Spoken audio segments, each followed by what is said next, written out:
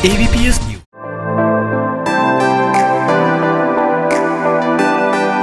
नमस्कार आप देख रहे हैं एबीपीएस न्यूज़ मैं शिल्पी त्रिपाठी आपका स्वागत करती हूँ हमारे खास कार्यक्रम विधायक जी चले गाँव की ओर में। आज हमारे साथ मौजूद हैं देवरिया से भाजपा विधायक कमलेश शुक्ल जी जो कि अपने क्षेत्र से पहली बार विधायक हैं और 12000 वोटों से जीत जीते हैं। आइए उनसे बात करते हैं गाँव के विकास को लेकर। विधायक जी आपका बहुत बहुत स्वागत है हमारे कार्यक्रम में। धन्यवाद। विधायक जी, जो ये बताइए कि आज जो हार हुई है, उसको लेकर आप क्या कहना चाहते हैं? ये तो जनता का फैसला है। जनता ने जैसा जनता का मन था, उसने वैसा फैसला दिया। हम उसको स्वीकार करते हैं और आगे के लिए हम तैयार होते हैं कि 19 में हम मजबूती से चुनाव लड़ें और उसी तरह की जीत हासिल करें, जैसे कि हमने 2014 में जीती थी। जी, जैसे कि आपने कहा कि ये जनता का फैसला है, इस पर आप किसी और कुछ मतलब कि कुछ और कहना चाहेंगे कि इसका कारण क्या रहा जो आपकी हार हुई इस इस वहाँ से, गोरखपुर से? कारण कुछ नहीं रहा, कारण सिर्फ़ ये था कि समाजवादी और बसपा का जो गठबंधन हुआ और उस गठबंधन को हम लोगों ने थोड़ा हल्के लिया। अगर थोड़ा सा हम लोग जरा और भी मजबूती से चुनाव लड़ते तो ये गठबंधन फेल हो जाता। विधायक जी। जी ये बताइए कि आपको ऐसा नहीं लगता है कि गाँव अब जो भारत है वो दो भारत हो गए एक ग्रामीण और शहरी नाम के क्योंकि गाँव की तरफ़ तो कोई भी सरकारें ध्यान नहीं देती हैं और शहर की तरफ़ सारी सरकारें ध्यान देती हैं इसका क्या कारण है? नहीं हमारी सरकार गाँव की तरफ़ बहुत ध्यान दे रही है कुटीर उद्योग लगा रही है जो नौजवान है, उनको रोज़गार के बारे में सोच रही है, गाँव के विकास के बारे में सोच रही है, गाँव में अस्पताल खुल रहे हैं, गाँव में स्कूल खुल रहे हैं, और सारी सुविधाएँ जो शहर में मिलती है, वो गाँव में मिल रही हैं। नेट से सारे गाँव को जोड़ दिया गया है। तो इस इस तरफ़ हमारी सरकार एक साल में बहुत काम कर रही है।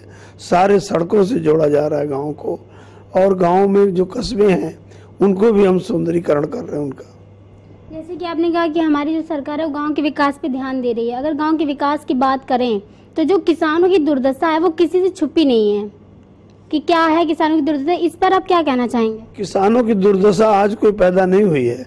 ये पुरानी दुर्दशा थी, उसको हम लोग झेल रहे हैं और हम लोग उसके उसके निदान में लगे हुए हैं। जैसे पिछले वर्षों जो सूखा पड़ा था और जो जो अतिवृष्टि हुई थी, उससे जो किसान उस समय जो बुरी तरह से टूट गया था, उसको हम लोगों ने उसकी भरपाई करने के लिए कई करोड़ रुपया खर्च किया, किसानों का कर्ज माफ़ किया, किसानों की हालत पहले से बहुत किसान दुर्दिन में जी रहा था। अब तो किसानों की हालत बहुत अच्छी है, हमने गेहूँ खरीद अच्छी की, धान की खरीद की हमने, और आगे की भी जो हमने गेहूँ का रेट दिया है, वो न्यूनतम मूल्य जो हमारा है, वो पिछले वर्षों से बहुत ज़्यादा है। ये तो आपने जो बात कही, वो ठीक है, लेकिन जो जो खाद की बात करें तो जो किसान को खाद दी जा रही है, वो अदर जो प्रदेश है उसमें तीन सौ रुपये कुछ है, लेकिन जो उत्तर प्रदेश में है, वो बत्तीस रुपये ज़्यादा लिया जा रहा है। ये इसका क्या कारण है? इसका कारण है कि हम किसान को उसके उपज का भी मूल्य बढ़ा के दे रहे हैं और प्रदेशों से। इसलिए यहाँ पर जो बोझ किसानों पर पड़ रहा है, उसको हम अपने कृषि उत्पाद के मूल्य में बढ़ा कर दे रहे हैं। विधायक जी, जैसे शिक्षा की बात करें तो आपने अभी बताया कि हम लोग इस गाँव में जो शिक्षा पर भी ध्यान दे रहे हैं, स्कूल बनवा रहे हैं। स्कूल तो हैं बहुत सारे, लेकिन उसमें बच्चे जो हैं वो ज़मीन में बैठ के पढ़ाई करते हैं। उसमें स्कूलों में शिक्षक नहीं है। और जो शिक्षक हैं हैं भी तो एक या दो हैं। और उसमें साफ़ सफ़ाई वगैरह नहीं है, जो बस इन सब का कारण क्या है कि शिक्षक अभी भी भर्ती नहीं हो पाए। इसका कारण मेन तो ये है कि जो पिछली सरकारों में जो शिक्षक भर्ती हुए थे और उनकी कोई क्वालिफिकेशन नहीं थी, कोई उनकी सूझबूझ नहीं थी, किसी भी उन्होंने नेट को या किसी उसको इंटरव्यू को पास नहीं किया था। उनका उनका जो सुप्रीम कोर्ट से आदेश आया, उस पर हम लोगों ने जब अमल किया और उस पर जब हम लोगों ने कार्रवाई शुरू की तो शिक्षकों की कमी लग रही है। अब हमारी सरकार इस तरफ़ विशेष ध्यान देकर शिक्षकों की भर्ती करने जा रही है और इस कमी को हम पूरा कर लेंगे।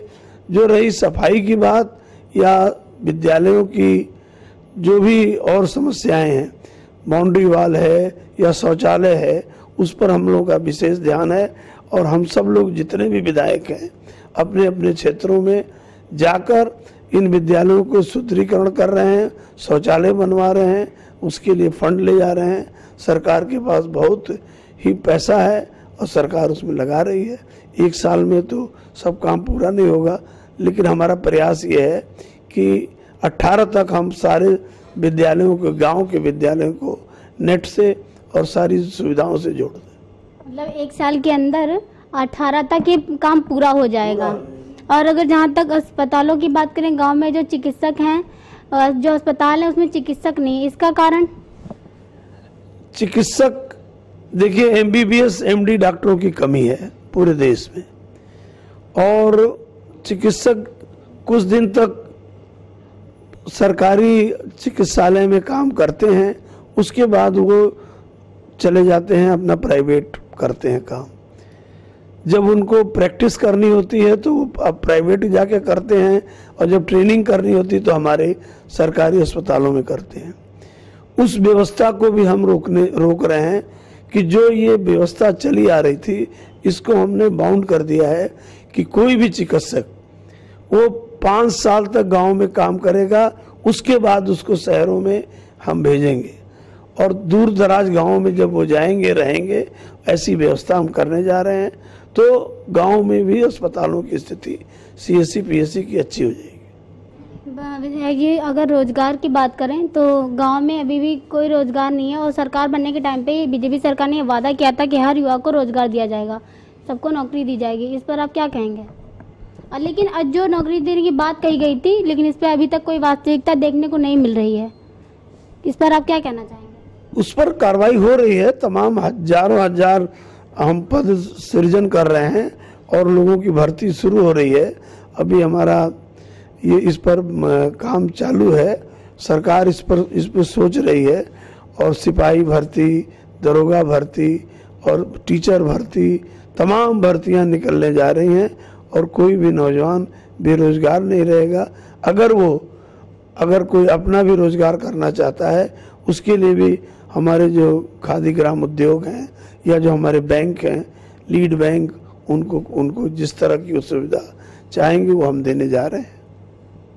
देख जी, आपके हिसाब से गाँव में ऐसी क्या क्या चीज़ें होनी चाहिए क्या क्या व्यवस्था होनी चाहिए जो जो आम इंसान है वो खुद खुश रह सके अपने परिवार को भी खुशहाल ज़िंदगी दे सके?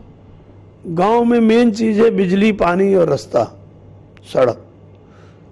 इस पर हमारा विशेष फोकस है और हमारी सरकार चाहती है कि गाँव में 24 घंटे बिजली रहे, पानी की अच्छी व्यवस्था रहे और सड़कों का अच्छा जाल बिछ जाए, जिससे गाँव एक गाँव से दूसरे गाँव को जोड़ दिया जाए, शहर से जोड़ दिया जाए, कस्बे से जोड़ दिया जाए, जिससे गाँव के लोगों को अपनी अच्छी शिक्षा दीक्षा प्राप्त कर सके। बहुत बहुत धन्यवाद विधायक जी आपका। तो ये तो थे देवरिया से भाजपा विधायक कमलेश शुक्ल जी, जिन्होंने हमारे सवालों के जवाब बड़ी ही सूझबूझ के साथ दिए हैं। आगे भी हम आपको अन्य जनप्रतिनिधियों से आपकी मुलाकात करवाते रहेंगे। तब तक के लिए शिल्पी को दीजिए इजाज़त। नमस्कार।